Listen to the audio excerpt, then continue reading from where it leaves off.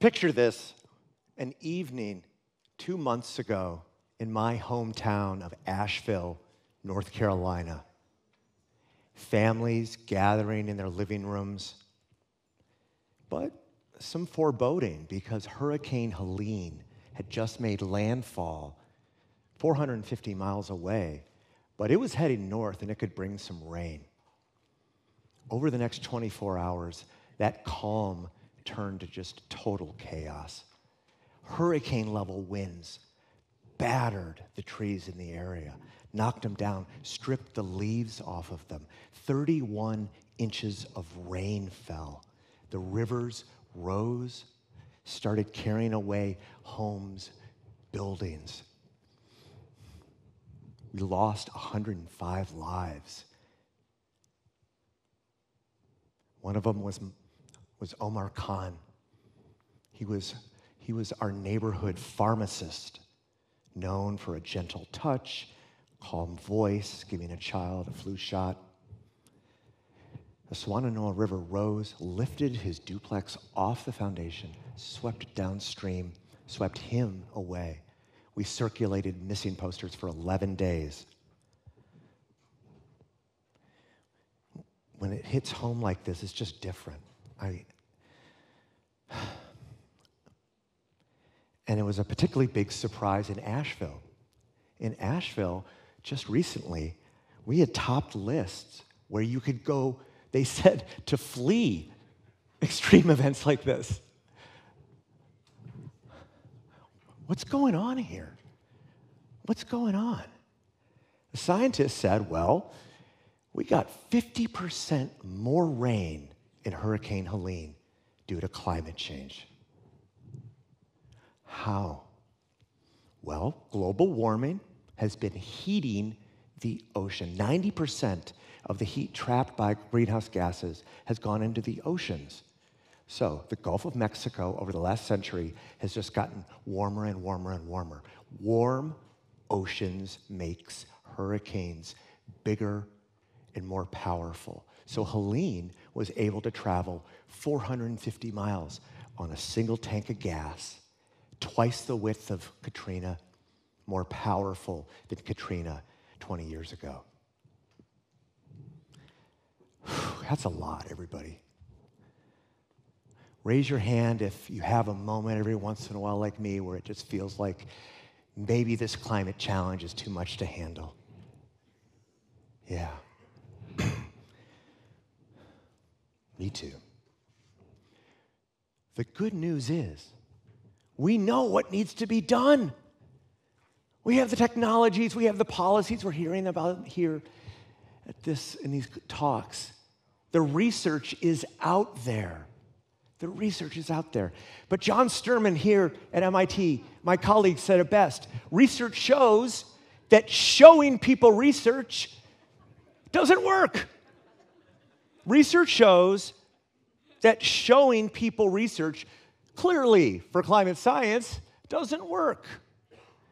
How, my friends, are we going to engage people on their own terms in deep ways, in ways that create different futures. I'd like to show you something really remarkable an ability to glimpse into the future to see if we change behavior today, how much better things could be. Our team at Climate Interactive, with our colleagues here at MIT, have developed this global model, En-ROADS. Over a million people around the world use it. Uh, that was many more than I expected. Uh, it's being used because so broadly, not because of the United States, but because it's in 20 languages and is spreading around the world. This is the version that was translated by Tsinghua University into Chinese. You move sliders at the bottom, and things change at the top. You can put this policy and that policy and try things, see what kind of solutions, see what happens to energy, emissions, and temperature. That's the basic idea. Free, online, Around the world, there are now over 800 people who have gone through an eight hour training course to take it to their top decision makers, business people, communities, and schools to help us get clear about what we need to do to avoid future Helenes.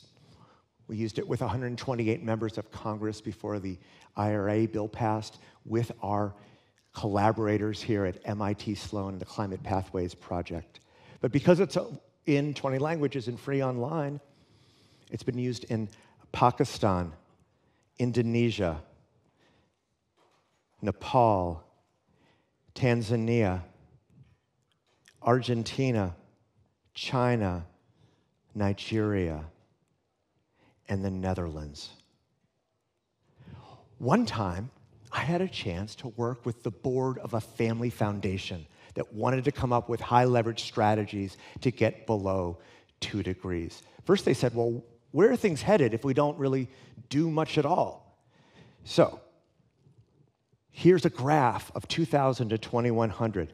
The brown is coal, the red, oil, blue, gas, that expanding green wedge, wind and solar.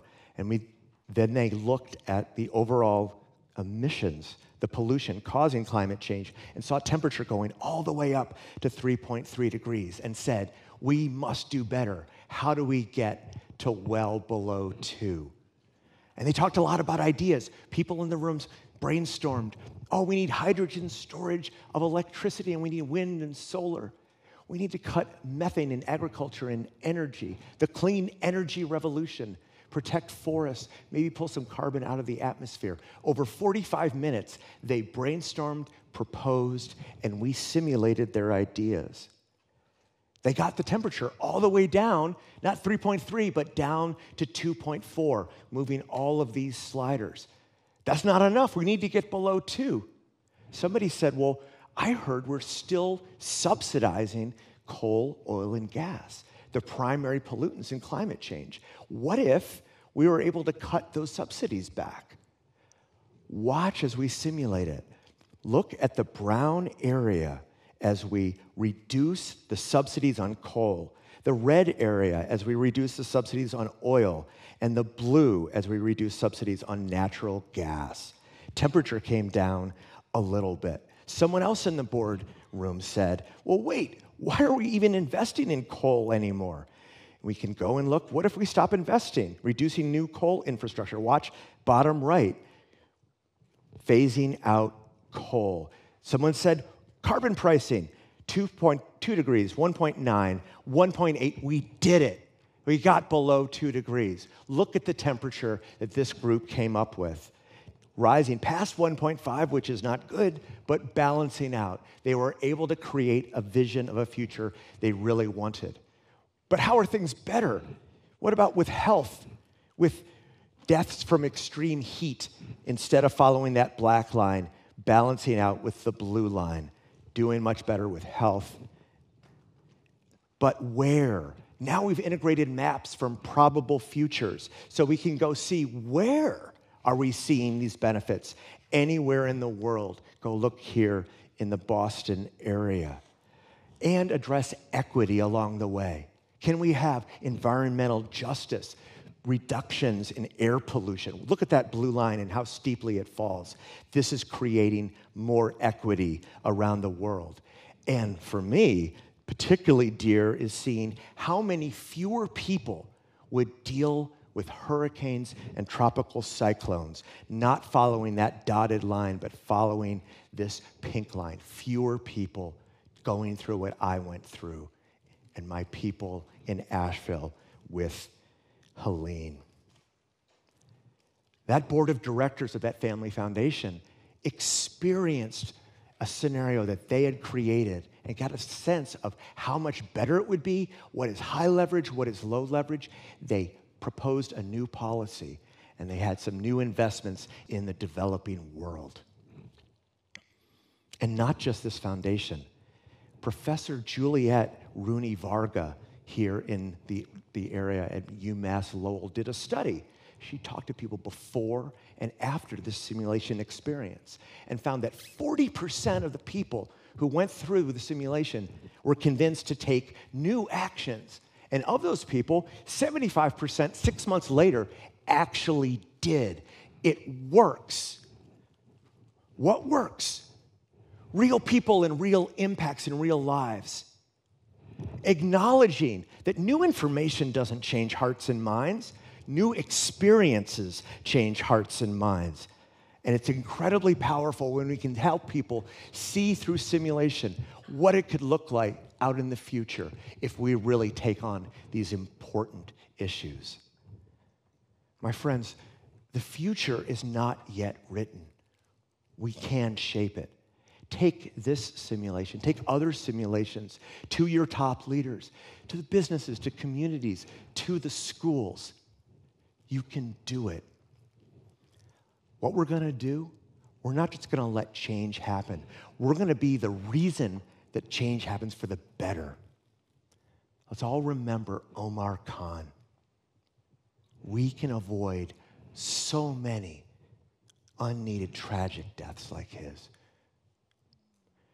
Think for a moment 20 years from now, thinking back to this time and the actions that we take, what if we could create a better world, save millions of lives? That's the future that I want. We can do it, everybody. Let's go get them. Thank you very much. Thank you.